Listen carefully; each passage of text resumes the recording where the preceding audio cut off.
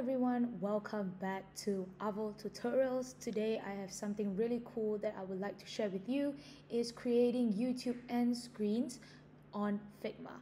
Today I'll be guiding you on how I create this version over here from scratch and it's very similar to the one I currently have on my own channel. On my own channel looks like this and you can see that the icon for channel and also the icon for video is movable but you also have to take note that you can only move within this rectangular over here. That's why when you design you have to be very careful on making sure that you do not design anything that is clickable at the top or at the bottom. The bottom is the play bar so you just have to avoid putting it too close to the edge. When you upload your video on YouTube, the red box is where you are able to move around your elements, which is the channel button or the video or playlist or whatever you want. And in terms of specs, I actually found this one on Reddit is actually uploaded by this guy called r slash YouTube three years ago and it's really useful. I will link this down below if you need the specs of the elements. Now let's start creating this one from scratch. Let me go down here to give ourselves a little more space. Click on the shape button over here, click on rectangle, make sure you toggle it down if you do not have rectangle selected. Draw any size that you like and then readjust the width and the height. So the width is 1920, the height is 1080. This is the specs for 16 by 9 which is a YouTube video size. So I'm going to lock it as that so that we can keep it as it is, 16 by 9 and we have to change up this color because right now it's gray in color if you're not sure what color goes well together you can actually just head to google and search up color palettes. And you can see a bunch of different color palettes that you can choose from. For me i actually chose this one because i really like how um, the purple goes well with the brown and i like how the color scheme is. When you have that over there then you can use your uh, color picker to actually pick out the color. So it's really helpful to have it in figma itself. I'm going to change up the color over here and I want to change it up to the light purple. So I'm to click fill, click on the eyedrop, click on the color picker and then click light purple. So there you go, very nice. Now next we need to create the layer on top which is this wavy bottom element over here and we do that using the pen tool. The pen tool can be quite intimidating to use at first, but once you master it, it's a really helpful tool to draw anything or create any elements that you like on Figma. And now we're going to use it, the pen tool, to create like that wavy look. And we're going to start off from the top here because I know I want to have like a wave over here from the right. So I'm going to start here from the right and then I'm going to do a couple of uh, stops as well so that um, I'm able to create the waves later on. So it'll start off as a straight line. Later on, we need to adjust it and give it a little bit of curve. We also need to close up the shape so that it becomes a actual rectangle and then we can fill it up with color later on. Because if you do not close it up, it's just going to be a straight line. So now we have it as a rectangle and I'm going to create the waves. You're going to click on this bend tool over here next to the pen and then I'm going to start creating the wave. So I'm gonna do a little bump over there, a little wave over here, and a little wave over here.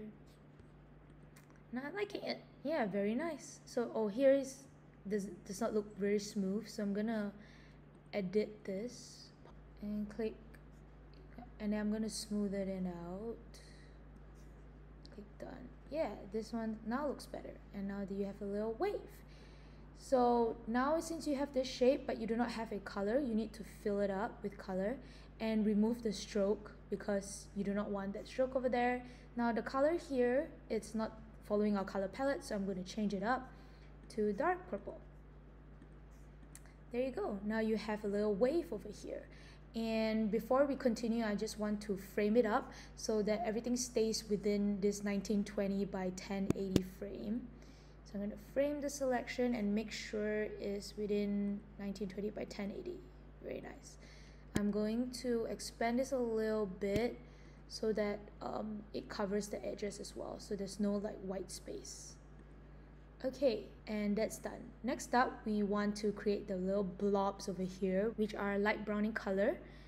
And how we do that is you can use the pen tool for sure to create your blobs, but there's an easier way to do it. There's a blob plugin. So over here at the top, click on it. Instead of components, click on plugins and then type out blobs. And you can see it's right here because I've recently used it and then click run.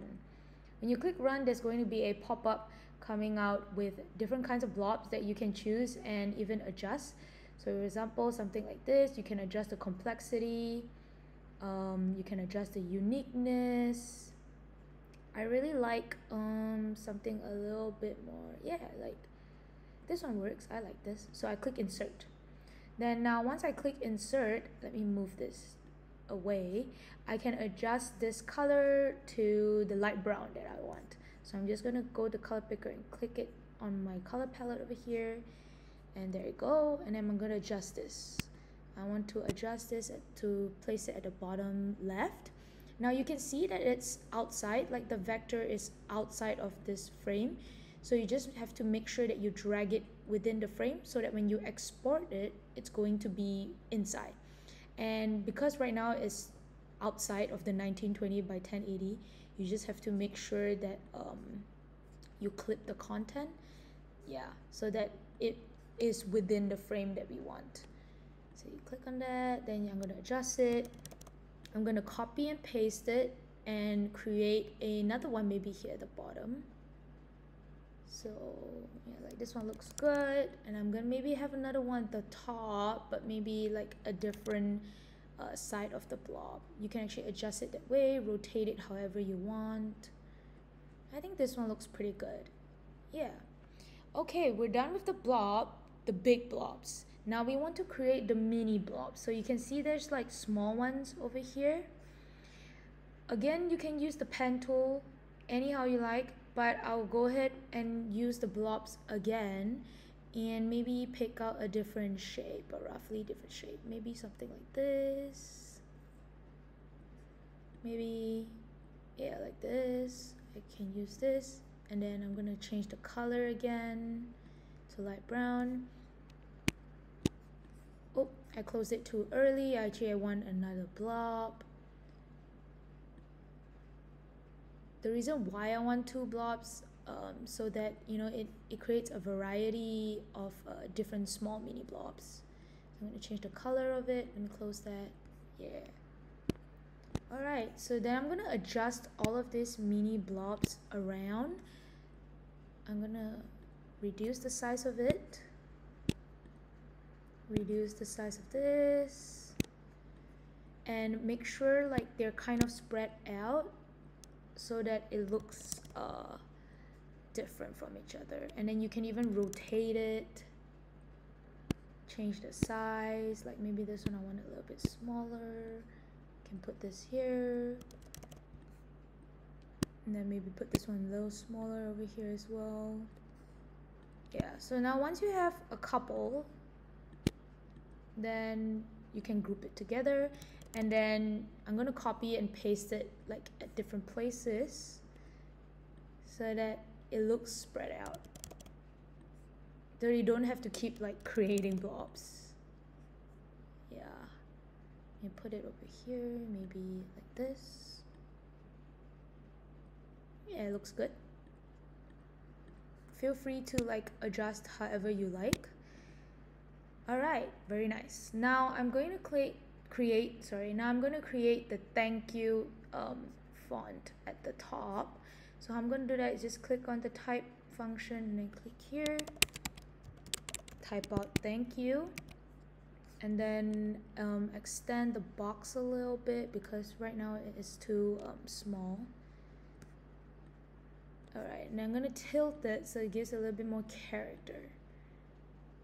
Yeah and I'm gonna change the font color to dark brown to the one that is in my color palette over here. Yeah very nice. So you can see like um, the blob groups are kind of outside the frame so I have to frame it back and put it in back. Yeah like that. Alright so now I have to thank you over here. It looks good. The last but not least I need to add in the labels so I can create that by going to the shape function again, uh, select on rectangle, and then draw my shape. So maybe it's something like this. And then I want it in white. So right now the shape is sharp edged. I need it to be curved so I can go here on the top right here. Click maybe, I think 30 looks good. Yeah, 30. Okay, so 30. I'm gonna put it over here maybe.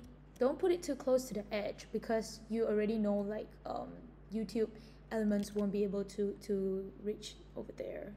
So I'm gonna put it here and then I'm gonna type out subscribe now. Or subscribe here works too up to you. I'm gonna change this font size. It's too big. And then change the color again to match. Thank you and then put it in here within the text box. I mean within the shape that you have created. Yeah like this. Now you can group this together so that it stays together and then I'm gonna copy and paste it on the side here so that you can put another element on the right. So I'm gonna put this towards the center more and then this one yeah and then put watch more so I'm gonna put like another video at the bottom so there you go you actually have this done and you just have to export this click on this frame one here and then click on export either PNG or JPEG, that's up to you. There you go. And once you have included this in your video, do make sure and try out to put it in your YouTube studio before you upload your video. Play around and see where the elements look good and then adjust that and then save it. I actually created five different templates and all of this are for free. If you'd like to download all of this in a PNG format, click in the link description down below. It will guide you to this page over here on Gumroad and then you can purchase it. It does not cost any money if you like to support the channel and give me a little bit of motivation on creating more content for you guys, then you can name a fair price. If not, then it is free of charge. But if you like to go a step further and you want to have the Figma editable file, it only costs a dollar you can click on the second item over here and then put in one dollar and then click purchase from there on then you can download and then import in your figma file and start editing I really hope this video was helpful. Do feel free to drop me any comments down below if you have any questions and don't forget to like and subscribe to the channel. Thank you so much for your time. Bye!